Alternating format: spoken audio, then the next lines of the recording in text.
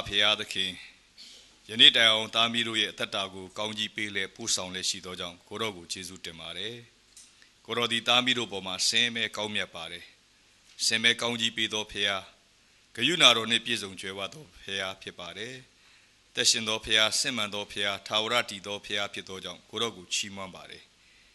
ချီးမွမ်းခြင်းမျိုးမျိုးထက်ကြီးမြင့်၍ဘုန်းကြီးသောကိုရောနာမကိုကောင်းကြီးပေးပါတယ်။နာမတော်မြတ်သည်ကဘာဆက်ဆက်ဘုန်းကြီးပါစေသော။ မြေတာတော်ရှင်ဖထာဝရဘုရားသခင်ရှေးတော်မောက်ကိုလာတဲ့ခါမှာလဲတာမီတို့ရဲ့မပြည့်စုံခြင်းအားနည်းခြင်းပြင်းများအတွက်လဲခရစ်တော်ရဲ့အသွေးတော်သည်စေကြောပြီးဖြည့်လို့ပေးတဲ့အတွက်ကျေးဇူးတော်ချီးမွမ်းပါတယ်။ခရစ်တော်အားဖြင့်ရသောပြည့်လို့ခြင်းဖြောင့်မတ်ခြင်းတန်ရှင်းခြင်းအတွက်ကျေးဇူးတင်ပါတယ်။ဒီချိန်တိုင်းမှာလဲကိုရောနှုတ်ကပတ်တော်ကိုတာမီတို့အတူတကွဆင်ခြင်တဲ့အခါမှာတန်ရှင်းသောဝိညာဉ်တော်ဖျားသည်တာမီတို့ရဲ့ဥပ္ပစ္စေဆရာဖြစ်တော်မူသည့်အတိုင်းနှုတ်ကပတ်တော်အားဖြင့်သားမီးတို့ကိုစကားပြောတော်မူပါခေတ်ကာလဆက်ဆက်ကိုရောနှုတ်ကပတ်တော်ကိုကိုရောကောင်းကြီးပေးခဲ့တဲ့အတိုင်းယနေ့လည်းကောင်းကြီးပေးတော်မူပါ တာကြောင့်ကိုလည်း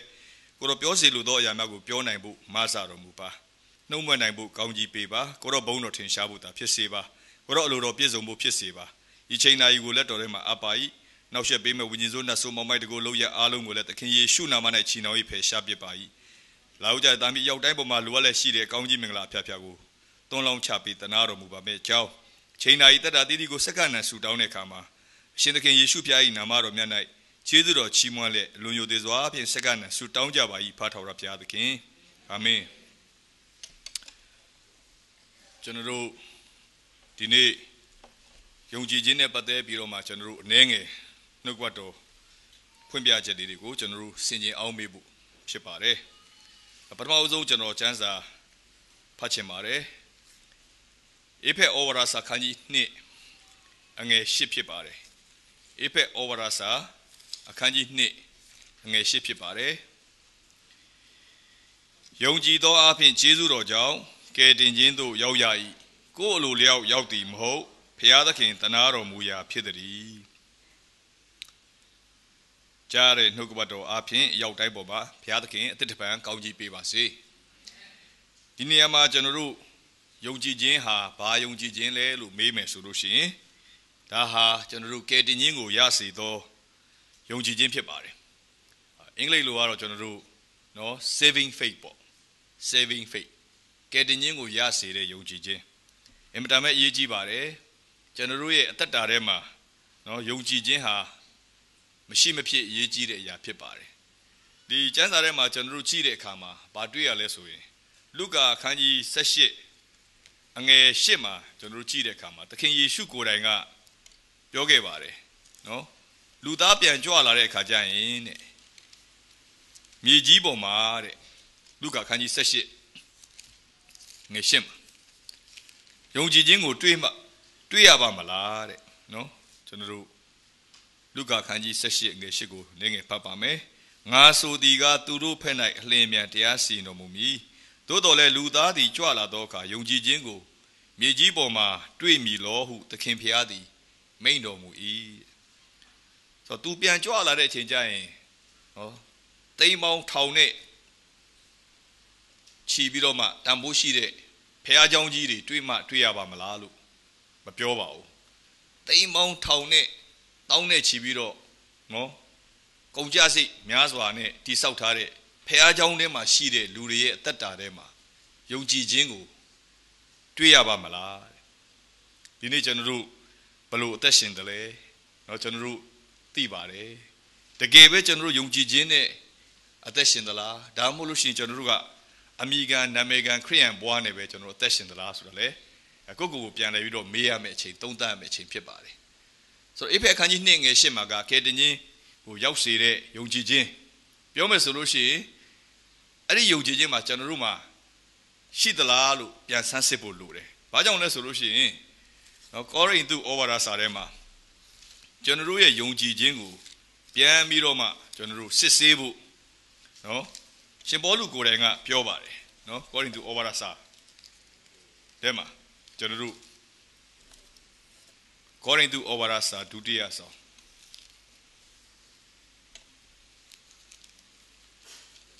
အဲ့ဒီမှာကျွန်တော်တို့ဘာပြောလဲဆိုလို့ရှိရင်နော်ယုံကြည်ခြင်းဟာတဲ့တကယ်ပဲစစ်သလားကိုကိုကိုပြန်ပြီးတော့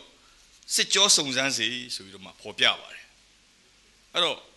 ယုံကြည်ခြင်းနဲ့ပတ်သက်ပြီးတော့မှကျွန်တော်တို့စဉ်းစားတဲ့အခါမှာနော်ကျွန်တော်တို့ရဲ့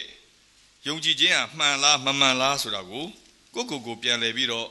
ကျွန်တော်တို့စင်ကြင်အောင်မရမယ်အချိန်ဖြစ်ပါတယ်ကိုကိုကိုတော့ယုံကြည်တယ်လို့ပြောတယ်ဒါပေမဲ့တကယ်ပဲစစ်မှန်တဲ့ယုံကြည်ခြင်းရှိတဲ့သူလားဒါမှမဟုတ်လို့ရှိရင်မိယိုးဖလာရပဲကျွန်တော်တို့က ယုံကြည်နေသလားဆိုတာကိုစမ်းစစ်ဖို့ဖြစ်ပါတယ်အဲ့တော့ယုံကြည်ခြင်းနဲ့ပတ်သက်ပြီးတော့မှเนาะကျွန်တော်တို့တခါလေကြားလို့ရှိရင်ကျွန်တော်တို့ကဟိုမိယိုးဖလာအရာပဲယုံကြည်တာဖြစ်တယ်တကယ်စစ်မှန်တဲ့ယုံကြည်ခြင်းအတွင်းထဲမှာမရှိဘူးအဲ့တော့ကယ်တင်ခြင်းရတယ်လို့ကိုကိုကိုထင်ပေမဲ့တကယ်တမ်းကျတော့ကယ်တင်ခြင်းမရသေးဘူးကယ်တင်ခြင်းအကြောင်းပဲသိသေးတာဖြစ်တယ်ကယ်တင်ခြင်းအကြောင်းပဲနားလည်သေးတာဖြစ်တယ်ဒါပေမဲ့ ကယ်တင်ရှင်ကကျွန်တော်တို့အထဲမှာရှိသလားဆိုတော့မရှိဘူးဖြစ်နေဆိုတော့ဆိုတော့အဲ့ဒါကအင်မတန်စိုးရင်စရာရှိတယ်ကိုကိုကိုကယ်တင်ခြင်းရတယ်လို့ထင်ပြီးတော့မရဘူးဖြစ်နေအဲ့တော့ကျမ်းစာထဲမှာယုံကြည်သောအဖြစ်ခြေဆုတော်ကြောင့်ကယ်တင်ခြင်းတို့ရောက်ရည်ဆိုတဲ့ကျမ်းပိုက်ကတော့နေရာတိုင်းမှာခဏခဏဆရာတွေလည်းဟောကြတယ်နော်ဆိုတော့ယုံကြည်သောအဖြစ်ခြေဆုတော်ကြောင့်ဆိုတဲ့အရာကို ပြောတဲ့အခါမှာတခါလေကျရင်ခြေဆုတော်ကြောင့်ဆိုလို့ပြောတဲ့အခါမှာတချို့ကနားမလဲဘူးကျွန်တော်တို့အခြားဘာသာဝင်တွေကိုသွားပြီးပြောရင်ခြေဆုတော်ဆိုရင်ကျွန်တော်တို့နားမလဲဘူးရိုးလေးပြောမယ်ဆိုရင်ခြေဆုပြုခြင်းကြောင့်ဖြစ်တယ်ခြေဆုတော်လို့ပြောရင်နားမလဲဘူးခြေဆုပြုခြင်းကြောင့်ဖြစ်တယ်ဘသူကခြေဆုပြုတယ်လဲဆိုရင်ဖခင်ကခြေဆုပြုတယ်လဝါကတိုင်ပေါ်မှာခရစ်တော်ဒီကျွန်တော်တို့ကိုယ်စားအသေးခံခြင်းဟာကျွန်တော်တို့အတွက် ဖျားပြုတဲ့ဂျေဇုပဲဖြစ်တယ်ကျွန်တော်တို့မှာအကယ်၍အကျွေးဟာသိန်း900ရှိနေမယ်ဆိုရင်ကျွန်တော်ပျော်မှာမဟုတ်ဘူးဒီအကျွေးရှင်ကလည်းဒီပတ်တင်ပေးမလားမပေးဘူးလားမပေးဘူးဆိုရင်တော့တရားစွဲမယ်ဆိုရင်တော့ကျွန်တော်တို့ပို့ပြီးတော့စိတ်ညစ်မှာပဲအဲ့လိုတောင်ပြောချင်မှပြောမယ်ဟာဘယ်အချိန်မှငါ့ကိုရဲရလာပြီးတော့လက်ထိတ်ခတ်မလဲဖမ်းမလဲစိုးရင်ပူပန်နေမှာပဲအကျွေးရှင်နဲ့မျက်နှာချင်းဆိုင်တွေ့ရင်လည်းကျွန်တော်တို့ကရှောင်တိန်ပုံနေမယ် မျက်နှာပူနေမယ်အမျိုးမျိုးပေါ့နော်ကျွန်တော်စိတ်ထဲမှာအနှောက်အယှက်တွေဝမ်းနေခြင်းတွေရှိနေမှာပဲဘာကြောင့်လဲဆိုတော့ကျွန်တော်အကျွေးရှိနေလို့ဖြစ်တယ်ဒါပေမဲ့အဲ့ဒီလိုစိတ်ပြက်လက်ပြက်နဲ့သွားနေရင်းနဲ့ဂတိကျတထေးတယောက်ကကျွန်တော်တို့ရဲ့အကျွေးတွေကိုစပ်ပေးမယ်လို့ပြောရင်ကျွန်တော်တို့ဘယ်လိုတုံ့ပြန်ကျွန်တော်ရဲ့တငယ်ချင်းဆရာဆယ်မြသိန်းသူ့ရဲ့အမယောက်ျားကရောက်ဖဖြစ်တဲ့သူက ကုမ္ပဏီတစ်ခုမှာအလုပ်လုပ်တယ်အဲ့မှာအလုပ်လုပ်ရင်းနဲ့အဲ့ဒီကုမ္ပဏီတစ်ထည့်ကဘယ်လောက်ချမ်းသာလဲဆိုတာသိလားဒါတော့မှအများကြီးသိတာမဟုတ်သေးနည်းနည်းပါးပါးပဲသိတယ်သူစောက်တဲ့အိမ်ကသိန်း2000ရှိတယ်မမြေခွက်မပါသေးဘူးနော်အဲ့ဒါနဲ့မပြီးသေးဘူးနောက်တစ်လုံးထပ်စောက်တော့သိန်း9000နဲ့ဘယ်လောက်များချမ်းသာမလဲစဉ်းစားကြည့်ပြီးတော့အိမ်မှာအလှမွေးတဲ့ငါးပေါ့အဲ့ဒါကိုနိုင်ငံခြားနေသူမှားတယ် လေပြန်နဲ့တော့ဒီမှားလိုက်တာပေါ့အကောင်30တကောင်ကို US ဒေါ်လာ1000အကောင်30ဆိုတော့3သိန်းမို့ပေါ့ဟိုတုန်းကဒေါ်လာကို1000ဈေးလောက်ပေါက်တယ်ဆိုတော့တကောင်တကောင်သိန်း100တန်ဖိုးရှိတယ်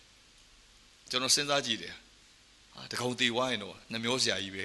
နော်ကျွန်တော်တို့ဆိုသိန်း100ကြီးဆိုရန်နှမျောမှာပဲနော်ဆိုသိန်း100ကလည်းဟိုငွေဆက်ကူအထုပ်ကြီးကိုမီးရှို့လိုက်မယ်ဆိုရင်ဘယ်သူမှရှို့ချင်မှာမဟုတ်ဘူး တော့ငါးတကောင်တေဝိုင်းရင်အသိန်းတရာသွားပြီဒါသူ့တက်ကတော့ဘာမှမဟုတ်သိန်းတရာလည်းဘာမှမဟုတ်နော်အရန်ချမ်းသာတယ်ကျွန်တော်ဒီတထေးအကြောင်းကိုကျွန်တော်ပြောချင်တာမဟုတ်ဘူးအဲ့ဒီလိုချမ်းသာတဲ့တထေးကကျွန်တော်တို့ခုနကအကျွေးတင်နေတဲ့အချိန်မှာသိန်း900ကိုအေးစေးဆက်နိုင်တယ်ခမည်းကိုစားဆက်ပေးမယ်လို့ပြောရင်ကျွန်တော်တို့ဘယ်လိုတုံ့ပြန် အာမလို့ခြင်းမဟုတ်ဗျာကျွန်တော်ယူတဲ့အကျွေးကျွန်တော်ပဲဆက်မယ်မဆက်နိုင်ရင်လည်းကျွန်တော်ကကျွန်တော်ထောင်ထဲမှာခံမယ်ဒါတရားပါတယ်ဆိုပြီးတော့ညင်းပယ်လိုက်မယ်ဆိုရင်ကျွန်တော်တို့မိုက်တဲ့သူကဘာပေါ်မှာရှိပါမှာစဉ်းစားကြည့်ပေါ့နော်ကိုယ့်ရဲ့အကျွေးကိုမေတ္တာနဲ့စေနာနဲ့လာပြီးဆက်ပေးတဲ့သူကမှကျွန်တော်လက်မခံရင်ကျွန်တော်တို့လောက်မိုက်မဲတဲ့သူရှိနိုင်ပါဦးမလား ဆိုတော့ဒီတထေးကြီးကဆက်ပေးခြင်းကိုကျွန်တော်လက်ခံလိုက်မယ်ဆိုရင်ကျွန်တော်တို့ကျွေးသိန်း900စလုံးဆက်ပြီးသွားပြီဆိုရင်အာဘာမှပူစရာမလိုတော့ဘူးနော်ဘယ်နေ့အကျွေးရှင်ကလာပြီးတောင်းမလဲဘယ်နေ့ရဲကလာဖမ်းမလဲစိုးရင်ပူပန်စရာမလိုတော့ဘူးဘယ်တော့မှထောင်ကြအောင်မလဲဆိုတော့လေပူပန်စရာမလိုတော့ဘူးအကျွေးဆက်ပြီးသွားပြီဆိုရင်အကျွေးရှင်နဲ့မန်နေဂျာဆိုင်တွေ့ရင်လည်းပဲရှောင်းတိတ်မုန်းစရာမလိုတော့ဘူးမျက်နှာပူစရာမလိုတော့ဘူးဘာကြောင့်လဲဆိုတော့ဆက်ပြီးသွားပြီ ထိုနည်းလည်းကောင်းမယ်ခရစ်တော်ကလဝါကတိုင်ပေါ်မှာအတိခံတဲ့အချိန်မှာဆက်ပြီးသွားပြီဖြစ်တယ်ခရစ်တော်လဝါကတိုင်ပေါ်မှာအတိခံတဲ့အချိန်မှာစကားကြီးခုနှစ်ခွန်းပြောတယ်အဲ့ဒီထဲမှာ6ခွန်းမြောက်စကားကယောဟန်ခန်းကြီး19အငယ်30မှာအမှုပြီးပြီတဲ့သူ့ရဲ့မူရင်း Greek ဘာသာစကားမှာတော့ tetelestai လို့ခေါ်တယ် tetelestai ဆိုတဲ့အဓိပ္ပာယ်ကဘာလဲဆိုလို့ရှိရင် it is paid in full တဲ့အပြစ်ကြွေးရှိသမျှကိုအကုန်အပြည့်အဝစပ်ပြီးပြီ paid နော် PAID paid ဆိုတာငွေရှင်းပြီးပြီပေါ့ပြောမဆိုရင်ကျွန်တော်တို့ဟို shopping center တွေမှာကျွန်တော်တို့အရင်တော့ငငယ်တော့မှတ်မှတ်မိတယ်နော်စိုင်းဒီမှာသွားဝယ်ပြီးပြီဆိုပြေစာမှာစီးနှိပ်လိုက်တယ်ငွေရှင်းပြီး paid PAID paid ဆိုအဓိပ္ပာယ်ကငွေရှင်းပြီးပြီဆိုရင်ဒီပစ္စည်းကယူလို့ရပြီထိုနည်းလည်းကောင်းမယ်ကျွန်တော်တို့ရဲ့အပြစ်ကြွေးတွေအားလုံးခရစ်တော်ကရှင်းပြီးသွားပြီဆက်ပြီးသွားပြီအပြည့်အဝဆက်ပြီးသွားပြီဟာလေလုယာအဲ့ဒီအရာက ကျွန်တော်တို့အတွက်သတင်းကောင်းဖြစ်တယ်ခမည်းတည်လို့ရှိရင်တော့ငရဲသွားမှာပဲလို့ပြောရင်ကျွန်တော်တို့အရန်စိတ်ဆိုးတတ်မယ်စိတ်ဆိုးမှာပဲနော်ဟာငါ့ကိုဘာလို့ဒီလိုလာပြောတယ်လဲစိတ်ဆိုးမိမှာပဲဒါပေမဲ့ခမည်းတည်လို့ရှိရင်ဘယ်တော့မှငရဲသွားစရာမလိုတော့ဘူးဆိုတဲ့သတင်းကမိတ်ဆွေအတွက်သတင်းကောင်းဖြစ်တယ်ဝမ်းမြောက်ဖွယ်ရာသတင်းဖြစ်တယ်ဘာကြောင့်လဲဆိုရင်မိတ်ဆွေကောင်းလို့မဟုတ်ဘူးယေရှုကောင်းလို့ဖြစ်တယ်မိတ်ဆွေလှုပ်လို့မဟုတ်ယေရှုကမိတ်ဆွေအတွက်လှုပ်ပေးလို့ဖြစ်တယ်ဟာလေလုယာ ဘာသာတရားတွေအားလုံးကဘာလဲဆိုလို့ရှိရင် तू ကကိုလှုပ်ရမယ်ကိုကောင်းရမယ်ကိုကျင့်ရမယ်နော်ပြီးရင်ဘာသာတရားမှာဘာနဲ့ဖွဲ့စည်းထားလဲဆိုရင်ဘယ်ဘာသာပဲဖြစ်ဖြစ်ပညာတရားတွေနဲ့ဖွဲ့စည်းထားတယ်စောင့်ရန်ရှောင်ရန်ပေါ့ဒါမလုပ်ရဘူးဒါလုပ်ရမယ်ဆိုတော့ do and don'ts ပေါ့နော် don't kill don't steal don't commit adultery ဆိုတော့လူမတတ်ရဘူးနော်သူများတက်မတတ်ရဘူးသူများသားများမပြစ်မှားဘူး နော်မခိုးရဘူးစသဖြင့်မလုပ်ရမလုပ်ရမလုပ်ရဒါတွေတော့လုပ်ရမယ်ဆိုတော့အဲ့ဒီပညာတွေနဲ့ဖွဲ့စည်းထားတယ်ဒီနည်းအားဖြင့်ပြောမယ်ဆိုရင်ဘာသာတရားဟာလောက်ခိုင်းသောတရားဖြစ်ဒါပေမဲ့ခရစ်တော်ကကျွန်တော်တို့အတွက်လာပြီးလှုပ်ပေးသွားတဲ့အရာကယေရှုတရားဖြစ်တယ်ဟာလေလုယာအဲ့ဒါကလှုပ်ပေးသောတရားဖြစ်တယ်အဲ့ဒီခရစ်တော်ရဲ့အသေးခံပေးခြင်းကျေးဇူးကြောင့်ပြည့်ကျွေးဆက်ပေးခြင်းကျေးဇူးကြောင့်အဲ့ဒါကိုကျွန်တော်တို့ကယုံကြည်မယ်ဆိုရင် ခရစ်တော်ရဲ့လှုပ်ဆောင်ချက်ကိုယုံကြည်မယ်ဆိုရင်လောက်အားကတဲ့ပုံမှာခရစ်တော်ရဲ့ပြီးပြည့်စုံတဲ့လှုပ်ဆောင်ချက်အင်္ဂလိပ်လိုက the finish work on the cross နော်ဆိုတော့ခရစ်တော်ရဲ့လောက်အားကတဲ့ပုံမှာအသေးခံပေးတဲ့ပြီးပြည့်စုံတဲ့လှုပ်ဆောင်ချက်ကိုကျွန်တော်အတွက်ကျမအတွက်ဖြစ်တယ်လို့ယုံတဲ့အချိန်မှာပဲလေမိတ်ဆွေဟာကယ်တင်ခြင်းကိုရတာဖြစ်တယ်ဟာလေလုယာမိတ်ဆွေကောင်းလို့မဟုတ်ဘူးမိတ်ဆွေကျင့်လို့လည်းမဟုတ်ဘူးကုသိုလ်ကောင်းမှုကြောင့်မဟုတ်ဘူးတရားကျင့်လို့မဟုတ်ဘူး ပညာတရားလိုက်လျှောက်လို့လည်းမဟုတ်ဘူးလဝကတဲ့မှာခရစ်တော်နဲ့အတူတပြိုင်နက်အသေးခံတဲ့လူဆိုးကြီးနှစ်ယောက်ထဲမှာတယောက်ကကျွန်တော်အားလုံးသိတဲ့အတိုင်းပဲနောက်လူက23အငယ်39ကနေ43မှာရေးရတယ်အဲ့ဒီထဲမှာဘာတွေ့ရလဲဆိုရင်တယောက်ကတေခံဒီအချိန်လေးမှာခရစ်တော်ကိုယုံကြည်လက်ခံတယ်နှစ်ယောက်စလုံးကမကောင်းနှစ်ယောက်စလုံးကအပြစ်များသောသူဖြစ်တယ်ယောမထုံးစံရဆိုရင်လဝါကတိုင်မှာရိုက်တက်ခံရတဲ့လူဆိုးဟာအ ਨੇ ဆုံးလူတတ်မှုဆယ်မှု ကျူးလွန်ပြီးတဲ့သူတွေကိုပဲရိုက်တက်တဲ့ထုံးစံရှိတယ်။ဒါဆိုဒီလူဆိုးဘယ်လောက်ဆိုးမလဲစဉ်းစားကြည့်။ဒီလူဆိုးကဒီလောက်တောင်ဆိုးတယ်ဆိုရင်ဒီလူကဲတင်ချင်းရအောင်ရထိုက်ပါမလား။ဆိုပြီးတော့ကျွန်တော်တို့တွေးမှာပဲ။ဒါပေမဲ့ तू ရသွားတယ်။ तू ကောင်းလို့မဟုတ်ဘူးယေရှုကောင်းလို့ तू လှုပ်လို့မဟုတ်ယေရှုကသူ့အတွက်လှုပ်ပေးခဲ့လို့ဖြစ်တယ်။ဟာလေလုယာ။တော့သူ့တက်တာထဲမှာဘာရှိလဲဆိုတော့အကျင့်ကောင်းမရှိဘူး။သူ့တက်တာမှာဘာပဲရှိတော့ယုံကြည်ခြင်းပဲရှိတယ်။သူ့ရဲ့နှုတ်ကထွက်တဲ့စကားကသူ့ရဲ့ယုံကြည်ခြင်းကိုဖော်ပြတယ်။ तू ကသခင်ယေရှုကိုဟိတ်ကောင်လို့မခေါ်ဘူး။သခင်လို့ခေါ်တယ်။ဟာလေလုယာ။သခင်နဲ့ကိုရောနိုင်ငံတော်တည်လဲကြွလာတဲ့အခါကျွန်တော်ကိုအောက်မေ့ပါ။လောကတဲ့မှာခရစ်တော်သေခါတဲ့အချိန်မှာတပည့်တော်တွေအားလုံးထွက်ပြေးသွားတယ်။နော်တပည့်တော်တွေအားလုံးထွက်ပြေးတယ်။ပေတုကလည်းညင်းပယ်တယ်။သုံးချိန်ဒါပေမဲ့ပထမအဦးဆုံး သခင်ဆိုပြီးတော့မှလူရှိမှဝန်ခံတာအဲ့ဒီလူဆိုးဖြစ်တယ်။ तू ပြောတယ်နိုင်ငံတော်တည်လက်ကြွလာတဲ့ခါကျွန်တော်ကိုအောက်မေ့ပါဆိုခရစ်တော်နဲ့အတူတပြိုင်တည်းအသေးခံနေတဲ့အချိန်မှာပင်လေခရစ်တော်ဒီတည်ခြင်းကနေပြန်ရှင်ပြန်ထမြောက်မယ်ပြီးတော့ကျွန်တော်တို့သိတဲ့အတိုင်းပဲကိုထင်ရှားပြပြီးတော့လူပေါင်း900ကျော်မြင်ရပြီးတော့10ချိန်မကနော်ကျမ်းစာထဲမှာ12ချိန်ကိုထင်ရှားပြပြီးတော့ရှင်ပြန်ထမြောက်ကြောင်းကိုခါတက်တည်အထောက်ထားတွေနဲ့ပြခဲ့ပြီးမှသူကကောင်းကင်ဘုံတက်သွားတယ် တနေ့ပြန်လာအောင်မယ်ဆိုတဲ့ဂရုတော်ကိုလည်းပေးခဲ့တယ်ဟာလေလုယာအဲ့တော့နိုင်ငံတော်တည်ထောင်ဖို့ဆိုတာကျွန်တော်တို့ကဘာပေါ်မှာပြောမယ်ဆိုရင်ကောင်းကင်နိုင်ငံနော်တစ်တထောင်ကာလနိုင်ငံတော်ခေတ်အဲ့ဒီခါကြောက်လို့ရှိရင်ဘယင်တကာတို့ရဲ့ဘယင်သခင်တကာတို့သခင်အနေနဲ့အုပ်ချုပ်မှာဖြစ်တယ်အဲ့ဒီအချိန်အထိကိုသူကယုံကြည်တော်သူဖြစ်တယ်ဒီလူဆိုးကနော်တမန်တော်တွေရဲ့ယုံကြည်ခြင်းဘယ်လိုရှိလဲတော့မပြောတော့ဘူးသူ့ရဲ့ယုံကြည်ခြင်းကအဲ့ဒီအထိသူ့အထဲမှာခရစ်တော် အသေးခံုံနေမကဘူးတင်းကြိုပြီး၃ရက်မြောက်မှာရှင်မြန်ထားဖို့ထားမြောက်ယုံနေမကဘူးတက်သွားမယ်ပြန်လာအောင်မယ်ကဘာပေါ်မှာအုပ်ချုပ်အောင်မယ်အထိသူကယုံကြည်တော်သူဖြစ်တယ်အတူယုံကြည်တဲ့အတွက်ကြောင့်ကျမ်းစာဘာပြောလဲယုံကြည်သောအဖြစ်ခြေဆုတော်ကြောင့်ကဲတင်ခြင်းတို့ရောက်ရတယ်ခြေဆုတော်ကြောင့်ဆိုတာခရစ်တော်ရဲ့အသေးခံပေးခြင်းခြေဆုကြောင့်ခြေဆုပြုခြင်းကြောင့်ကားတိုင်းပေါ်မှာကိုစားအသေးခံပေးခြင်းကြောင့်အပြစ်ကြွေးဆက်ပေးခြင်းကြောင့်ထိုနည်း၎င်းပဲမိတ်ဆွေနဲ့ကျွန်တော်ကလည်းခရစ်တော် ငါအတွက်အသေးခံပြီးပြီအပြစ်ကြွေးဆက်ပြီးပြီလို့ယုံရင်ခရစ်တော်မိမိရဲ့ကယ်တင်ရှင်ဖြစ်လက်ခံမယ်ဆိုလို့ရှိရင်ကျွန်တော်တို့ဟာယေရှုတော်ကြောင့်ကယ်တင်ခြင်းရတော်သူဖြစ်တယ်အဲ့ဒါကကယ်တင်ခြင်းကိုရစေတဲ့ယုံကြည်ခြင်းဖြစ်တယ်ဟာကျွန်တော်ငငယ်လေးကတော့ယုံပါတယ်လို့တချို့ကတော့ပြောကောင်းပြောမယ်ဒါပေမဲ့ကျွန်တော်တို့ယုံကြည်ခြင်းကစစ်မှန်လားမစစ်မှန်လားကိုယ့်ကိုယ်ကိုပြန်စမ်းစစ်ဖို့လိုတယ်လူတယောက်ကိုယုံနေဆိုရင်ဘာကိုယုံရလဲဆိုရင်သူ့ရဲ့ပြောစကားကိုယုံရတယ်သူ့ရဲ့လှုပ်ဆောင်ချက်ကိုယုံရတယ် သူ့စကားကိုမယုံဘူးသူ့ရဲ့လှုပ်ဆောင်ချက်ကိုမယုံရင်သူ့ကိုမယုံရရောက်တယ်စော်ကားရရောက်ခရစ်တော်ရဲ့စကားနဲ့ခရစ်တော်ရဲ့လှုပ်ဆောင်ချက်ကိုကျွန်တော်တို့ယုံမှခရစ်တော်ကိုယုံရရောက်တယ်ဒါချစ်တော်ညီကိုမတော်မတို့ကျွန်တော်တို့တက်တာထဲမှာပထမဦးဆုံးအရေးကြီးဆုံးကကယ်တင်ခြင်းကိုရစေတဲ့ယုံကြည်ခြင်းကျွန်တော်တို့ထဲမှာရှိပြီလားဆိုတာပြန်လဲစမ်းစစ်ဖို့ဒီနေ့ခရိယန်ဖြစ်ုံနဲ့မကျေနပ်ပါနဲ့နှစ်ချင်းခံပြီးုံနဲ့လည်းတင်းတိမ်မှုမရှိပါနဲ့ တကယ်ပဲကိုယ့်ရဲ့ယုံကြည်ခြင်းဟာစစ်မှန်ရဲ့လားတကယ်ပဲကယ်တင်ခြင်းကိုရစေတဲ့ယုံကြည်ခြင်းကျွန်တော်တို့ထဲမှာရှိပြီလားနော်အဲ့ဒါကျွန်တော်ကိုယ့်ကိုယ်ကိုစမ်းစစ်ရမှာဖြစ်တယ်ကိုယ့်ကိုယ်ကိုအသိဆုံးပဲရုပ်တရက်မပြောကောင်းမဆိုကောင်းဒီနေ့ညများခေါ်တော်မူခြင်းခံရမယ်ဆိုရင်ငါတော့ဧကံမုချကောင်းကင်ဘုံရောက်မယ်လို့စိတ်ချတဲ့သူဘယ်နှယောက်ဒီထဲမှာရှိတယ်လဲကျွန်တော်လက်မထောင်ခိုင်းပါဘူးလက်မထောင်ခိုင်းကိုယ့်ကိုသိတယ်နော်အဲ့တော့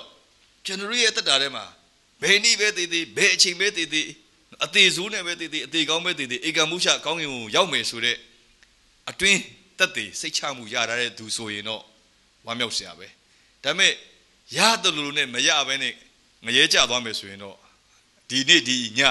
ဒီအချိန်ဟာမိတ်ဆွေအတွက်အရေးကြီးဆုံးပဲဒီညမအိတ်ခင်မှာပြန်ပြီးတော့စဉ်းစားပါရုပ်တရက်များမပြောကောင်းမဆိုကောင်းဒီညမှာအိတ်ရင်းနဲ့ပြန်မနိုးတော့ဘူးတည်သွားမယ်ဆိုရင် သို့မဟုတ်လို့ရှိရင်လည်းပဲဒီတပတ်အတွင်းမှာဒီတရက်နှစ်အတွင်းမှာတည်သွားမယ်ဆိုရင်တကယ်ပဲဘုရားသခင်ရှိရောက်ဖို့တည်ကြပြီလားအသက်ဆောင်ထဲမှာပါပြီလားတကယ်ဟုတ်ကဲ့တင်ကြီးရပြီပြီလားကဲတင်ကြီးအကြောင်းကိုသိတာပဲလားနားလေသဘောပေါက်တာပဲလားတကယ်ပဲကဲတင်ရှင်ပေးတဲ့ထာဝရအသက်ကိုရထားတော်သူဖြစ်သလားအဲ့ဒါအရေးကြီးပါတယ်လူဘဝဆိုပြောလို့မရပါဘူးเนาะကျွန်တော်တို့ကအချိန်မြေလူဟာတည်တတ်ပါတယ် လူဘွားအခိုးငွေလို့ပြောပါတယ်ကျမ်းစာထဲမှာနော်ရှေးယာကုတ်ထဲမှာဖော်ပြထားပါတယ်ကျွန်တော်ပြီးခဲ့တဲ့နှစ်ကကျွန်တော်တို့အဖွဲ့အစည်းကနေပြီးတော့ဖိတ်ခေါ်ချက်ကြောင့်ကိုရီးယားမှာသွားပြီးတော့ကျွန်တော်အဲဒီ conference မှာ campus ဒီတက္ကသိုလ်ကျောင်းသားများတာသနာလုပ်ငန်းအဲ့ဒီမှာကျွန်တော်ဝေငှခွင့်ရတယ်ပြီးသွားတဲ့အခါမှာကျွန်တော်ကိုသူတို့က medical check up လုပ်ဘူးလားလို့ပြောကျွန်တော်မလုပ်ဘူးလို့ပြောတယ်နော်ကျမ်းမာရေးစစ်စစ်ဖို့ ဘာလို့မလုပ်လဲဆိုတော့ဈေးကြီးတယ်လို့ကျွန်တော်ပြောတယ်နော်ပတ်စံအများကြီးကုန်မယ်လို့တခုခုဖြစ်လို့ရှိရင်စစ်စင်းဒါဟိုဟာရိုက်ဒီဟာရိုက်ဟိုဟာလှုပ်ဒီဟာလုံးနဲ့အဲ့ဒါနဲ့သူတို့ကနေပြီးတော့စစ်ပေးမယ်ဆိုတာဆိုတာစစ်စစ်ပေးတယ်နော်အကုန်လုံးဒီ medical check up သွေးရောစီရောအကုန်လုံးစစ်ဆေးပေးပြီးတော့ဆရာဝန်ကဗာပြောလဲဆိုခင်ဗျားအဆုတ်ကတော်တော်ကောင်းတယ်တဲ့အဲ့ဒါနဲ့ကျွန်တော်ပြောတယ်ဟာလေလုယာလို့ယေရှုတော်ပဲအဆုတ်ကောင်းရင်တော့များများချီးမွမ်းတခြင်းဆိုလို့လည်းရမယ်တရားများများဟောလို့ရမယ် အဲကျွန်တော်ဝမ်းသာတယ်ပြီးတော့မှကျွန်တော်တတိယဟာကျွန်တော်ဒီလက်ကအဖုရှိတယ်အဖုလေးကတေးသေးလေးကနေတော့တဖြည်းဖြည်းကြီးကြီးကြီးကြီးကြီးလာတော်တော်လေးလက်မလောက်ရှည်လာတယ်နာလည်းမနာဘူးဆိုကျွန်တော်သတိရတယ်အဲ့ဒါဘာဖြစ်လဲမသိဘူးလို့ကျွန်တော်ပြောမိလိုက်တယ်အမှန်တော့ thank you လို့ပြောနေရင်းနဲ့ပြန်တော့မလို့ဒါပေမဲ့သတိရတာနဲ့အဲ့မှာပြောလိုက်တော့ तू ကကြည့်ပြီးတော့ကျွန်တော်ဘာလုပ်လဲဆိုလို့ရှိရင်ဒီ ultrasound ရိုက်တယ်ပြီးတော့ မျက်နှာမကောင်းဟိုဘက်9မိနစ်လောက်ဝေးတဲ့ဆေးရုံကိုသူ့တပည့်တယောက်နဲ့တွားခိုင်းလိုက်ပြီးတော့ scan ထပ်ဆွဲတယ်သူ chat ကိုကြည့်ပြီးတော့လည်းသူမျက်နှာမကောင်းသူတို့ချင်းချင်းဆရာဝန်ချင်းချင်းပြောနေတယ်ကိုရီးယားလိုပြောတော့ကျွန်တော်လည်းနားမလဲမျက်နှာတော့မကောင်းနောက်တနေ့တဲ့ဟိုကလေး900လောက်ဆက်နေဆေးရုံကြီးကိုတွားဖို့အဲ့ဒါနဲ့သူတို့ချိန်ပြီးတော့တွားကြတယ်ဟိုမှာလဲဘာလို့ရမလဲဆို MRI ပေါ့ကျွန်တော်တို့တကိုယ်လုံးခန္ဓာကိုယ်တစ်ခုလုံးဝင်ရတဲ့စက်ကြီးတယ်ပေါ့ နော်ကျွန်တော်အရှိကောက်တော့ဘယ်လိုခေါ်လဲတော့မသိအဲ့ဒီစက်ကြီးတွေမှာတန်လိုက်တဲ့နဲ့သူကအထဲမှာယောဂစစ်ဆေးတာပေါ့အဲ့ဒါမှစစ်ဆေးဖို့ကြတော့တညအိပ်ရမယ်တဲ့စစ်ဆေးမဲ့သူကများတော့မနေ့ပြန်မနေ့မှာဆိုတညအိပ်ရင်လည်းပဲဆေးဥမှာအိပ်ရင်8000လောက်ပမာငွေ8000လောက်ကုန်မယ်အဲ့ဆိုတော့အဲ့ဒါနဲ့ဟိုအချင်းချင်းညှိနှိုင်းပြီးတော့မှနောက်တနေ့မနေ့မှာပဲစောစော7နာရီခွဲအရောက်သွားကြတယ်အဲ့ဒါရောက်သွားတာနဲ့ကျွန်တော်ခါတဲ့အဲ့ဒီစက်ကြီးတွေကိုထည့်လိုက်တယ်တနာရီနဲ့10မိနစ်လောက်ကြာတယ်ထွက်လာတဲ့အခါကျတော့ ဆရာဝန်ကြီးကအဲ့ဒီချက်ကိုကြည့်ပြီးတော့ your case is serious တဲ့ဟာမင်းရဲ့ပြဿနာတော်တော်ကြီးတယ်တဲ့ကျွန်တော်လဲဘာကြီးတယ်လဲကျွန်တော်ကြည့်နေတာကွာအဲ့ဒါဒီမှာကြီးတယ်ဒီမှာဒါကအစီအမဲရောင်တဲ့ဟာဒါတွေကအစီတဲ့ဒီမှာအဖြူကြောလေးတွေအကြောလေးတွေတွေ့ရတယ်ဒါကင်ဆာအမြင့်လိုမျိုးပေါ့သူက suspect ဖြစ်တယ်တန်ရရှိအဲ့ဒါကြောင့်ခွဲလိုက်မယ်ဆိုရင်တဲ့အကယ်၍များကင်ဆာဖြစ်တယ်ဆိုရင်ဒီဘက်လက် အယိုးဖြတ်ရမယ်တဲ့ငကူကမှလက်ကတစ်ချောင်းပဲရှိတယ်တဲ့မှာဒီဘက်လက်ကိုဖြတ်ရမယ်တဲ့ပြီးတော့နံယိုးကိုဖြတ်ပြီးတော့ဒီဘက်မှာပြန်ပြီးဆက်မယ်ပြီးနံယိုးမှာကျတော့တတ်သူချောင်းထည့်မယ်တဲ့ဟာ तू ပြောလိုက်တော့မှတော်တော်လေးကိုဩ your case is serious ဆိုတဲ့အတိုင်းပဲတော်တော်ကြီးတဲ့ပြဿနာပါလားဆိုဒါပေမဲ့အဲ့ဒီမိနစ်မှာသူကိုယ့်အတိုင်းဘုရားသခင်နဲ့အခြေယူတဲ့အခါမှာအဲ့ဒီပေတုရှင်ပေတုဩဝါဒစာအဲ့ဒီပထမဆောင်အခန်းကြီး9မှာဘုရားသခင်ကျွန်တော်ခွန်အားပေးပြီးသားဖြစ်တယ်အငယ်30မှာ ခရစ်တော်ယေရှုအားဖြင့်ငါတို့ကိုထာဝရဘုံအသေးတော်သို့ခေါ်တော်မူသောခတ်သိမ်းသောကျေးဇူးကိုပြုတော်မူသောဘုရားသခင်သည်တဲ့ခဏဆင်းရဲခံပြီးသောသင်တို့ကိုစုံလင်တည်ကြည်ခိုင်ခန့်မြဲမြံစေတော်မူလိမ့်မယ်ဟာလေလုယာ so suffer for a while ခဏတော့ဒုက္ခခံရမယ်တဲ့ဒါပေမဲ့ God will restore you in perfectness ဘုရားက restore ပြန်လုပ်မယ်တဲ့ပြန်ပြီးတော့ခိုင်ခန့်စုံလင်တည်ကြည်ခိုင်ခန့်မြဲမြံစေမယ်ဆိုတော့ဟာအဲ့ဒါနဲ့နှုတ်ကတော့ဂရိတော်ကရတာပြီးသားဆိုတော့ဆရာဝန်ကြီးက ကျွန်တော်မေးတယ်ခွဲမလားတဲ့မခွဲဘူးဆိုရင်တော့ तू ကရက်လိုက်ပြီဒါပြီးပြီကျွန်တော်လည်းဘာဖြစ်ဒီမှာဒီအဖူကြီးကဒီတိုင်းပဲဖြစ်နေမှာအဲကျွန်တော်နှုတ်ကတော့ရတာပြီးသားဆိုတော့ခွဲမယ်လို့အဲ့လိုပြောလိုက်တော့ကျွန်တော်သိတယ်လူအနေနဲ့တော့နည်းနည်းတော့စိုးရင်ねဟာဒီနေ့ကတော့ငါရဲ့နေဝင်နေဝင်ဟာနေ့မြန်ဖြစ်မလားမကြခင်ပဲကင်ဆာဆိုရင်တော့တစ်နှစ်လား6လလားနှစ်နှစ်လားဆိုအဲ့လိုစိုးရင်တဲ့စိတ်ကတော့ရှိပါတယ်ဒါပေမဲ့နှုတ်ကတော့ပြောထားပြီးသားဆိုတော့ခွန်အားရှိခွန်အားရှိတဲ့ခါကျတော့ ဘုရားလက်ထက်ပဲအားလိုက်တယ်အိမ်လည်းဖုန်းမဆက်ဘူးကျွန်တော်ဇနီးတွေရောသားသမီးတွေတန်ငယ်ချင်းတွေဘယ်သူမှမပြောဘူးဘုရားခင်ခေါ်ရင်လည်းသွားမယ်အစင်သိမယ်အဲ့ဒါနဲ့ပဲအတူတူပြောမယ်ဆိုရင် no eat no drinks တဲ့သူကမစားနဲ့မတောက်နဲ့ဆရာဝန်ကြီးကပြောပြီးတော့ကျွန်တော်အဲ့မနေ့10နိုင်ခွဲလောက်အချိန်ကနေစပြီးတော့ဘာမှညတည်းကလည်းမစားသေးဘူးပြီးတော့မှနေ့လေ2နာရီလောက်ကြာတော့ကျွန်တော်ကိုသီတာတဲ့ခေါ်သွားတယ်သူတို့မေးစေးရှူကိုင်းနေနှစ်ခါလောက်ရှူပြီးတော့ကျွန်တော်မိသွားတယ်ပြီးကျွန်တော်ပြန်ထွက်လာတဲ့အချိန်မှာတွန်းလဲနဲ့ပြန်ထွက်လာတယ် ဒီတာတဲ့နေထွက်လာတဲ့အချိန်ကျကျွန်တော်လှမ်းပြီးအချိန်မေးလိုက်တယ်၄နာရီဟာဒါဆို၄နာရီဆိုရင်တော့ဒီဟာတွေမဖြတ်သေးဘူးဖြစ်မယ်ဒါခဏလေးနဲ့ပြီးတယ်ဆိုတော့အဲကျွန်တော်တွက်တယ်ဟာဒါတွေဘာတွေအကုန်လုံးမယ်ဆိုရင်တော့အနည်းဆုံးတော့နှစ်နာရီနဲ့တော့မပြီးနိုင်ဘူးပေါ့အဲ့ဒါနဲ့ကျွန်တော်သိပြီဟာဘုရားသခင်ရဲ့ကျေးဇူးတော်ပဲနောက်ထွက်လာပြီးတော့ကျွန်တော်လက်ကိုအကျော်တွေလှုပ်ခိုင်းတာပေါ့ဘာလို့သူတို့ခါတဲ့ဒီမှာအကျော်စုံဆိုတော့ဒီမှာခွဲစိတ်ရင်းနဲ့တခုခုထိသွားလို့ရှိရင်လှုပ်ရှားလို့မရမှာဆိုဘာဖြစ်ဖြစ်ပေါ့လေဘုရားသခင်ကျေးဇူးတော်ပေါ့နော်ဆိုပြောချင်တာကျွ န်တော်ရဲ့အသက်တာထဲမှာနော်အချိန်မီဘာဖြစ်မယ်ဆိုတာမပြောနိုင်ဘူးကျွန်တော်ကိုယ်တိုင်1981တုန်းကဆရာကြီးဦးတမောင်ထုံးနဲ့အဲ့ဒီမှာကျွန်တော်တို့ဒီဒီ witnessing for Christ ခရစ်တော်အတွက်တည်တည်ကံလုံးကမှာ volunteer လုပ်ရင်းနဲ့နော်ဆရာဇော်မင်းအဖေနဲ့ပေါ့ကျွန်တော်တို့ပြည်မှာဧဝံဂေလိတရားဟောပွဲသွားတယ်အပြန်ကြတော့ကျွန်တော်တို့ကားမှောက်တယ်လက်တစ်ဖက်ပြတ်သွားတယ်ည7နာရီမှာအကောင်ကြီးပဲ7နာရီ35ကျတော့လက်မရှိတော့သွေး3မလင်းသွင်းရတယ် လူတကိုယ်လုံးမှာသွေး6မလင်းရှိတယ်လို့တော့ဆရာဝန်ကြီးကတော့ပြောတာပဲသွေး3မလင်းဆိုလည်းမနေဘူးသွေးသွေးလုံပြီးတော့လည်းတည်သွားနိုင်တယ်ကျွန်တော်အဲ့ဒီမှာချက်ချင်းပဲအနည်းဆုံးမင်္ဂလာတော်စစ်ဆေးုံပို့ချက်ချင်းပဲအင်းစိန်ဆေးုံပို့အင်းစိန်ဆေးုံတော့ကျွန်တော်မေ့သွားပြီပြီးညတွင်းချင်းပဲရန်ကုန်ဆေးုံကြီးပို့ရန်ကုန်ဆေးုံကြီးရောက်တဲ့အချိန်မှာ10နာရီခွဲစဖြစ်တာ၈နာရီခွဲကနေတော့ဆိုကြားမှာတော့အဲ့လိုဖြစ်တယ်ဒါပေမဲ့ကျေးဇူးတော်ကြောင့်မကျွန်တော်သက်ရှင်ခွင့်ရတယ်အဲ့ဒီဆေးဥမှာရောက်နေတဲ့အချိန်မှာမစင်စားဘဲနဲ့ခေါင်းထဲဝင်လာတဲ့ကျမ်းဘက်ကဘာလဲဆိုရင်ငါမသေးရသေးတဲ့ အသက်ရှင်ထားဖျားရဲ့အမှုတော်ကိုကြားပြောအောင်မေမသေးရသေးဘူးတဲ့အသက်ရှင်ထားဖျားအမှုတော်ကြားပြောအောင်မေဟာလေလုယာဒီနေ့ဘုရားခင်အသက်ရှင်ခွင့်ပေးတာဟာသူ့ရဲ့အမှုတော်ကိုကြားပြောဖို့ဖြစ်တယ်ဒီနေ့မိတ်ဆွေခနေ့ထိအသက်ရှင်နေသေးတယ်ဟာသူ့ရဲ့အမှုတော်ကိုကြားပြောဖို့ဖြစ်တယ်ဆိုတာကိုအသိစေခြင်းနဲ့နော်ကျွန်တော်တို့ကိုဘုရားသခင်ကအသက်ရှင်ခွင့်ပေးတယ်။တေမင်းရိတ်လွှမ်းမှုတဲ့ခြိုင်တွေသွားပြီမဲ့ဘေးကနေကိုမကြောက်ပါဆိုတဲ့အတိုင်းပဲကိုတော်ကကျွန်တော်တို့နဲ့အတူရှိတယ်ဘုရားဖြစ်တယ်။အော်ကျွန်တော်တို့ရဲ့အသက်တာထဲမှာနော်ဘုရားသခင်ကဘယ်နေ့ဘယ်အချိန်မှာ ကျွန်တော်တို့ခေါ်မယ်ဆိုတော့မသိဘူး။သို့တော်လည်းပဲကျွန်တော်တို့အသက်ရှင်တဲ့အချိန်မှာအရေးအကြီးဆုံးကဘာလဲဆိုရင်ဘုရားသခင်ပေးတဲ့နော်ထာဝရတဲ့လက်ဆောင်ကိုလက်ခံရရှိတာဘူး။အဲ့ဒါကတော့ယုံကြည်သောအဖြစ်ဘုရားကျေးဇူးတော်ကြောင့်ပေးထားပြီးသားအရာကိုကျွန်တော်တို့လက်ခံရယူတတ်ဖို့အရေးကြီးတယ်နော်ပေးကပေးမရဆိုသလိုပဲတချို့သောသူတွေကဖခင်ကပေးနေပေမဲ့လက်မခံတတ်ဘူးဆိုမရအောင်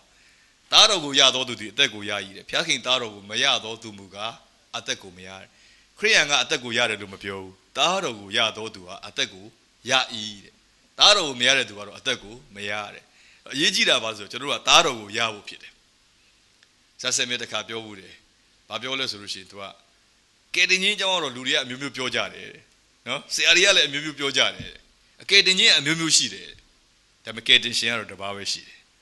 မိတ်ဆွေတက်တာထဲမှာကယ်တင်ရှင်ရဖို့ကအရေးကြီးတယ်ကယ်တင်ရှင်ကိုရတိုင်းဘာမှပူစရာမလို အဲ့တော့ကယ်တင်ခြင်းကိုရစေတဲ့ယုံကြည်ခြင်းအကြောင်းကိုကျွန်တော်တို့ဆင်ခြင်ပြီးတဲ့အခါမှာ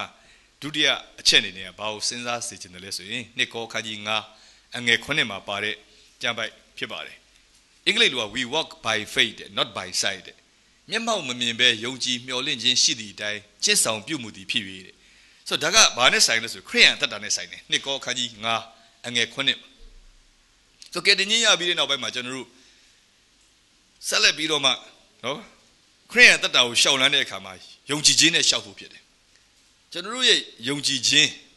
အားဖြင့်ရှောက်လန်းခြင်းကိုဘုရားကနှစ်သက်တယ်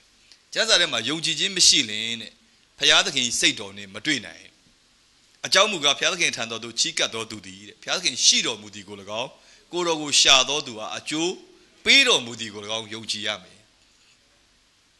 ဒီနေ့ကျွန်တော်တို့စာအုပ်လေးတုတ်ထဲမှာဖတ်ရတယ် the power of positive prayer ဆိုတဲ့စာအုပ်လေးထဲမှာခရိယန်တော်တော်များများရဲ့ဆုတောင်းချက်တရားမှာ90ကအဖြေမရဘူးဒါ research သူတင်တာပြုချက်ရတရားမှာ90အဖြေမရဘူးဘာကြောင့်လဲဆိုတော့သူတို့ကစုတာတောင်းပေမဲ့ယုံကြည်ခြင်းမပါဘူးဆုတောင်းနေပေမဲ့မျက်စိမိတ်ပေမဲ့နော်ခေါင်းငုံထားပေမဲ့အာယုံတွေကတခြားရောက်နေနော်ဟိုရှေ့ကဥဆောင်ပြီးဆုတောင်းတဲ့သူရဲ့နောက်မှာစိတ်ထဲကနေလိုက်ပြီးတော့ ခါရဲဆုတောင်းပြီးတော့အာမင်လို့ရမယ်အစားသူတို့အာယုံတွေကတခြားရောက်တခါတော့ဆရာတယောက်ပြောဘူးတယ်အဲ့ဒီနောက်ဆုံး closing ceremony ပေါ့ဖျားရှိခိုးကြောင်ပြီးတော့မယ်တင်းဦးဆရာကခါရဲဆုတောင်းပြီးတော့ညီကုန်းချုပ်ခံနေမှာလူတယောက်ကလည်း तू ကမျက်စိမိတ်ပြီးတော့သူကဘာစဉ်းစားနေလဲဆိုရင်မနေ့ကဘဲဘယ်နှကောင်ဝယ်တယ်လဲဆိုစဉ်းစားနေနော်သူကဒေါ်ညိုရှီကနေ၈ကောင်ဥတုတ်ရှီကနေ9ကောင် လာမတ်ဝင်းရှီကနေတော့12ကောင်စသဖြင့်အဲ့လိုသူကစဉ်းစားနေဟောခရစ်တော်နာမနဲ့ဆူတောင်းပါကြီးလဲပြီးသွားသူကသူများတွေကအာမင်ဆိုတဲ့အချိန်မှာသူက59ကောင်နဲ့ဆိုတော့သူ့အာယုံကအာမင်မဟုတ်ဘူးသူက59ကောင်ဖြစ်နေ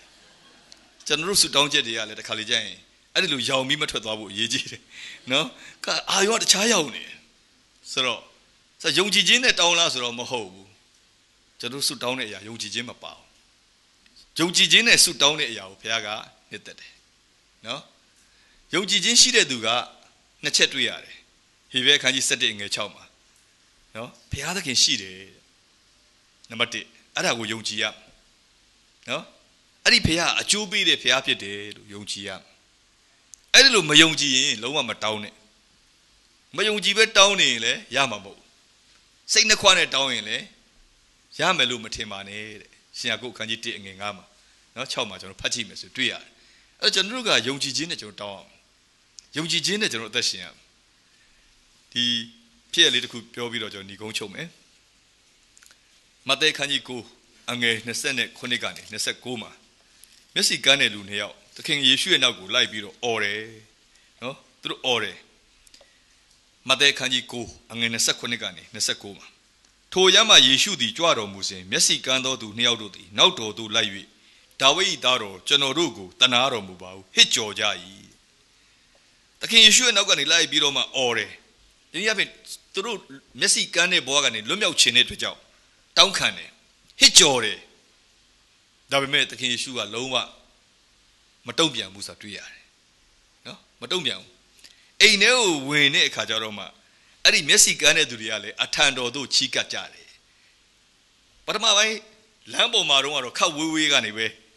အော်ရထင်ပါရဲ့နော်အဲ့ဒီခါကျတော့သခင်ယေရှုရဲ့တုံ့ပြန်ချက်မကြောက်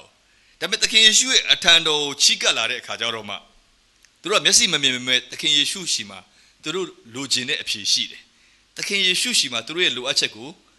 ဖြည့်ရှင်းပေးနိုင်တဲ့အစွမ်းတကူရှိတယ်ဆိုတာသူတို့ယုံကြည်တယ်အဲ့တော့သူတို့ကမျက်စိမမြင်မဲ့လူတွေကိုမေးပြီးတော့မှသ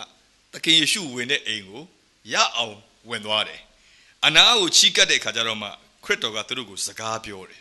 တခါလေကျွန်တော်တို့ဆုတောင်းရင်ဘုရားကဘာမှမတုံ့ပြန်တယ်လို့ပဲကျွန်တော်တို့ခံစားရပြီးတော့ဟာတော်ပါပြီကွာစိတ်ပြက်တဲ့သဘောတွေရှိတယ်နော်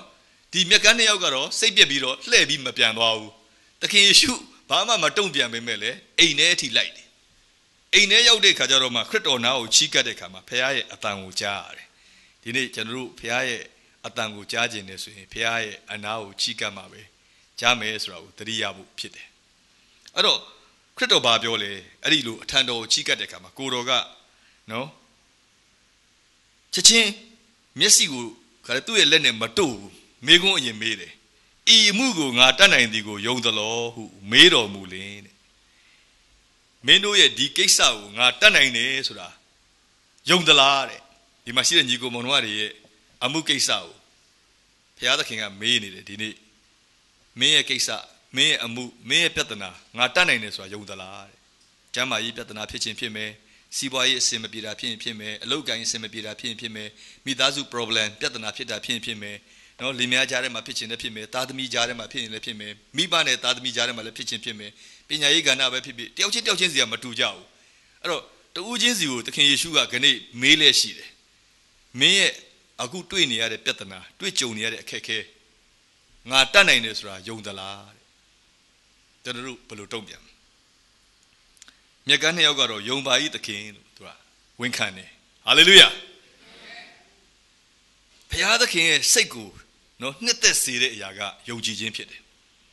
ယုံကြည်ခြင်းမရှိရင်ဘုရားသခင်စိတ်တော်နဲ့မတွေ့နိုင်နဲ့ without faith it is impossible to please god ဘုရားကို please ဖြစ်ဖို့နှစ်သက်စေဖို့ရန်အတွက်ကယုံကြည်ခြင်းမပါရင်မဖြစ်နိုင်ဘူးယုံကြည်ခြင်းရှိမှ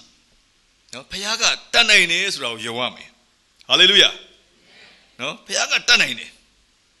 ဤမှုကိုငါတတ်နိုင်တာယုံသလားတဲ့မေးတယ်ယုံပါတယ်သခင်တဲ့ကျွန်တော်တနေ့ quiet တိုင်းယူတော့အေဖက်30အားဖြင့်ခွန်အားရတယ်အေဖက်30မှာဗာပြောလဲဆိုတော့ငါတို့တောင်းပန်ကြံစီသမျှတဲ့အလွန်ထူးခြားစွာပြုခြင်းက တတ်နိုင်တော်မူသောဘုရားသခင်လို့ဖော်ပြတယ်အင်္ဂလိပ်လို God is able to do exceeding abundantly more than we can think and ask ဆိုကျွန်တော်စဉ်းစားတာတဲ့ဘာမှလို့တော့တောင်းပန်ကြံစီလို့ပြောတယ်နော်ကျွန်တော်တောင်းခံတာတဲ့ကျွန်တော်ကြံစီစဉ်းစားတာတဲ့အလွန်ထူးခြားစွာပြုခြင်းကတတ်နိုင်တယ်ဒါပေမဲ့ကျွန်တော်တို့ကမှဘာ9000လိုတယ်ဆိုပါစို့ဘုရားသခင်9000မကပေးနိုင်တယ်9သိန်းမကပေးနိုင်တယ်သိန်း90မကလည်းပေးနိုင်တယ် သိန်း900မကလည်းပေးနိုင်တယ်ဘုရားသခင်ရဲ့တတ်နိုင်ခြင်းက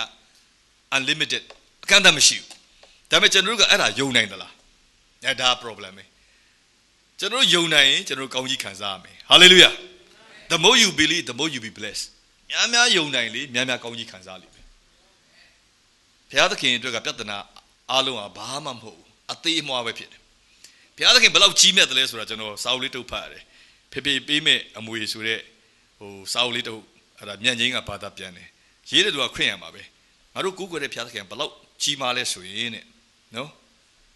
စကြဝဠာထဲမှာတဲ့ကျယ်တွေရှိတယ်ကျယ်တွေကျယ်တွေဂျိုတွေပေါ့နော်ပြောမယ်ဆိုကျွန်တော်တို့ကဘာလဲဂျိုတစ်ခုပေါ့သူတို့တွေကအစပေါင်းများစွာကြီးမားတယ်တချို့ကျယ်တွေဆိုရင်ကဘာအလုံးတသိန်းလောက်ကြီးမားတယ်ကျယ်နေကြီးတွေလည်းရှိတယ်အဲ့တော့သူက galaxy လို့ခေါ်တဲ့ငကငွေတန်းပေါ့ကျယ်စင်စုပေါ့ အဲ့ဒီမှာဆိုရင်တဲ့ကျယ်ပေါင်းဘယ်လောက်ရှိလဲဆိုရင်ဂဒေ2000ကျော်ရှိတယ်ဒါ one galaxy ပဲရှိသေးတယ်အဲ့ဒီလို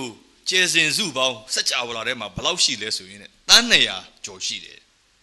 စဉ်းစားကြည့်စမ်းအဲ့တော့1 galaxy တော့မှဂရေပေါင်း2000ကျော်ရှိတယ်အဲ့ဒီလိုမျိုးကျယ်စင်စုစัจ java လာထဲမှာတန်း200ကျော်ရှိသေးတယ်အဲ့ဒါတွေကိုဖန်ဆင်းတဲ့ဘုရားဘယ်လောက်ကြီးမားမလဲဟာလေလုယာဘုရားရှင်နာမသားကြီးဘုန်းကြီးပါစေ အဲ့လောက်ကြီးမြတ်တဲ့ဘုရားကျွန်တော်ညံနဲ့မမီနိုင်လောက်အောင်ကြီးမားတယ်ဘုရားနော်အဲ့ဒီဖះကတတ်နိုင်တယ်သူ့အမြင်မှာကျွန်တော်ရဲ့ပြဿနာဘာမှမဟုတ်ဘာမှမဟုတ်ခမည်းအတွက်ဘလောက်ပဲကြီးမားတဲ့ပြဿနာဖြစ်ဖြစ်ဖះသခင်မတတ်နိုင်တာမရှိဘူးဟာလေလုယာအဲကျွန်တော်တို့ဘက်ကယုံဖို့လိုတယ်အဲ့တော့ဒီမြက်ကန်းယောက်ကယုံပါတယ်လို့ပြောလိုက်တဲ့ခါမှာသူတို့ရဲ့မျက်စိကိုတို့ပြီးတော့သင်တို့ယုံခြင်းရှိသည့်အတိုင်းသင်တို့၌ဖြစ်စေလို့မိန့်တော်မူတဲ့အခါမှာမျက်စိနှစ်ဖက် နှလုံးစလုံးပြန်ပြီးပွင့်သွားတယ်ဟာလေလုယာသူတို့နမိတ်လက္ခဏာခံစားရတယ်သူတို့ helpless hopeless မျောလင်းချက်မဲ့နော်အကူညီမဲ့ဘဝကနေသူတို့ကသူများရဲ့အကူညီမလို့ပဲကိုယ့်ဘက်ကိုလမ်းလျှောက်သွားနိုင်ပြီလောက်ကင်စားတော့နိုင်ပြီသူတို့ရဲ့ဘဝမှာဖခင်ရဲ့တို့ထီချင်းခံစားတဲ့အခါမှာဖခင်ရဲ့နမိတ်လက္ခဏာကိုခံစားရတယ်ဒီနေ့မိတ်ဆွေကိုဘုရားသခင်နမိတ်လက္ခဏာပေးခြင်းတယ်မိတ်ဆွေရဲ့အသက်တာထဲမှာတွေ့ကြုံရတဲ့ပြဿနာတွေကိုသူကဖြည့်ရှင်းပေးခြင်းနဲ့ဘုရား ဖြည့်ရှင်းပေးနိုင်တဲ့ဘုရားဟာလေလုယာကျွန်တော်မနေ့တည်းကပဲအဲ့ဒီ quiet time ယူနေဘာခွန်အားရလဲဆိုရင်ယောမဩရစာခန်းကြီး30မှာအဲ့ဒီပထနာပြုတဲ့သူတွေအပေါ်မှာတဲ့ဂျေဇုကြွယ်ဝတော်မူ၏ဆိုပြီးတော့မှဖော်ပြတယ်နော်ယောမဩရစာအခန်းကြီး30မှာအငယ်အငယ်7နှစ်မှာယူဒအမျိုး ဟေလသအမျိုးကိုမရွေလူအပေါင်းတို့ကိုအစိုးရသောအရှင်တပါးတည်းရှိ၍ကိုတော်ကိုပထနာပြုသောသူပေါင်းတို့၌ဂျေဇုကြွယ်ဝတော်မူ၏ကျွန်တော်ဘလို့နားလည်လိုက်တယ်လဲဆိုရင်သူ့ကိုပထနာပြုတဲ့သူတွေပေါ်မှာဘုရားပြုတဲ့ဂျေဇုဟာကြွယ်ဝတယ်ဟာလေလုယာကျွန်တော်တို့ကဂျေဇုတော်ကိုကြွယ်ဝစွာခံစားခြင်းနဲ့ဆိုရင်ပထနာပြုဖို့ဖြစ်တယ်ကျွန်တော်တို့ကဂျေဇုတော်ကိုကြွယ်ဝစွာမခံစားရခြင်းဟာကျွန်တော်တို့ဆုတောင်းတဲ့အတိုင်းဆုမတောင်းသေးလို့ဖြစ်တယ်ဒါချစ်တော်ညီကိုမတော်တို့ကျွန်တော်တို့ရဲ့အသက်တာထဲမှာတကယ်ပဲ ယုံကြည်ကြည်နဲ့တောင်းခံမယ်ဆိုရင်ဘုရားကသင်တို့ယုံတဲ့အတိုင်းဖြစ်စီကျွန်တော်မှုတော်ဆောင်တယ်ဘုရားသခင်ကျေးဇူးတော်ကြောင့်ဘုရားရွေးကောက်ပြီးတော့1981ဧပြီလ1ရက်နေ့ကနေစပြီးတော့မှုတော်ဆောင်တာဒီနေ့ထိနော်နှစ်ပေါင်း30ကျော်ဖြတ်တန်းလာခဲ့တဲ့အခါမှာအိမ်အောင်မကြခင်တော့လည်းဘုရားသခင်ထောက်ပံ့ပြင်ဆင်ပေးတဲ့အရှင်ဖြစ်တယ်လို့အိမ်အောင်ကြပြီးနောက်ပိုင်းမှာလည်းလိုရင်လိုအပ်တဲ့လောက်ရတယ်ဇာတိဥတ္တမတော်ပြောတယ်လို့လိုအပ်တဲ့ချိန်မှာလိုအပ်တဲ့လောက်ရတယ်ဆိုရင်ဒါကျွယ်ဝတဲ့အသက်တာဖြစ်တယ်ဟာလေလုယာ ဘုရားကကျွန်တော်တို့လိုအပ်တဲ့အချိန်မှာလိုအပ်တဲ့လောက်ကိုပေးနိုင်တဲ့အရှင်ကျွန်တော်တို့တောင်းပန်ကြံစီတဲ့နဲ့ကတာပြီးထူးခြားစွာပေးနိုင်တဲ့အရှင်ဖြစ်တယ်အဲ့ဒါကိုယုံကြည်ပါစာတန်ကတော့ဟာဖြစ်ပါမလားမဖြစ်နိုင်ဘူးတဲ့အေးအဲ့ဒါတွေကိုဖယ်လိုက်နော်ဒါစာတန်ရဲ့လှည့်စားမှုဖြစ်တယ်ဖယားနဲ့ဖယားစကားပေါ်မှာပဲကျွန်တော်ယုံကြည်ပြီးတော့စိတ်ချလိုက်ပါကျွန်တော်မှယုံကြည်ခြင်းအများကြီးမရှိလဲအရေးမကြီးပါဘူးနည်းနည်းလေးပဲရှိဖို့လိုတယ်နော်တခါတော့လူတယောက်ကတဲ့တခါတည်းယုံကြည်ခြင်းကြီးမားစွာရှိပြီးတော့လမ်းလျှောက်တဲ့အခါမှာ ရေခဲပြင်ပါပါလေးပေါ်မှာလျှောက်တဲ့အခါမှာခါရရေခဲပြင်အဲ့ဒီမြုပ်ကျသွားတယ်။ရေခဲပြင်ကသူ့ရဲ့ဝိတ်ကိုမခံနိုင်ဘူး။နောက်တစ်ယောက်ကတော့ယုံကြည်ခြင်းကတိတ်မရှိဘူးတွတ်ဆုပ်တွတ်ဆုပ်ပဲဒါပေမဲ့ तू သွားတဲ့ရေခဲပြင်ကဒူးကအကြီးဖြစ်တဲ့ခါကျတော့သူ့ရဲ့ခန္ဓာကိုယ်ကိုမထားနိုင်တယ်ဆိုတော့အရေးကြီးတာပါလို့ဆိုကျွန်တော်တို့ရဲ့ယုံကြည်ခြင်းမဟုတ်ဘူးเนาะကြီးမြတ်တဲ့ဘုရားသခင်ဟာလေလုယာအဲ့ဒီအပေါ်မှာကျွန်တော်တို့ရဲ့ယုံကြည်ခြင်းပဲဒါကြောင့်သခင်ယေရှုဘာပြောလဲမုံကြီးစိတ်ခန့်လောက်ယုံကြည်ခြင်းရှိရင်ပဲတော်ပါပြီเนาะတောင်းရွေ့စီမယ် အစီတားတွေခက်ခဲတွေကိုဘုရားဖေရှားပေးမယ်ဒါကြောင့်ချစ်တော်ညီကိုမတော်တို့ကျွန်တော်တို့ရဲ့တက်တာမှာယုံကြည်ခြင်းနဲ့အသက်ရှင်မယ်ဆိုရင်ကျွန်တော်နမိတ်လက္ခဏာမြင်ရမယ်ကောင်းကြီးခံစားရမယ်ဘုရားဘုန်းထင်ရှားမယ်ဟာလေလုယာဒါအခုချိန်မှာအားလုံးမတ်တရပြီးတော့မှကျွန်တော်တို့ရဲ့ပြဿနာကိုဘုရားသခင်ရှိမှာအနှံ့ရအောင်နော်ဘုရားတတ်နိုင်တယ်ဆိုတာယုံကြည်ကြရအောင်ဘုရားနဲ့စကားပြောရအောင်နော်ဒီနေ့နှုတ်ကပတ်တော်ကြားပြီးပြီကျွန်တော်ပြန်တုံ့ပြန်ရအောင်ဘာပြဿနာပဲဖြစ်ဖြစ်အခုဘုရားကိုစကားပြောပါ နော်စီးပွားရေးပြဿနာလားငွေရေးချေးပြဿနာလားအိမ်တောင်ရေးပြဿနာလားစိတ်အနှောက်အယှက်ဖြစ်နေတာလားစိတ်ငြိမ်သက်ခြင်းမရှိတာဝမ်းမြောက်ခြင်းမရှိတာအဲဒီမိသားစုမှာဖြစ်နေတဲ့အရာတွေပဲဖြစ်ဖြစ်ဒီအမှုကိုငါတတ်နိုင်တယ်ဆိုတာယုံသလားတဲ့ယုံပါတယ်ဆိုပြီးတော့ဝန်ခံပြီးတော့ကိုရောကျွန်တော်တို့အတွက်ကိုရောဖြည့်ရှင်းပေးမယ်ဖြစ်လို့ယေရှုတင်တယ်လို့မျှော်လင့်ပြီးတော့ဆုတောင်းရအောင်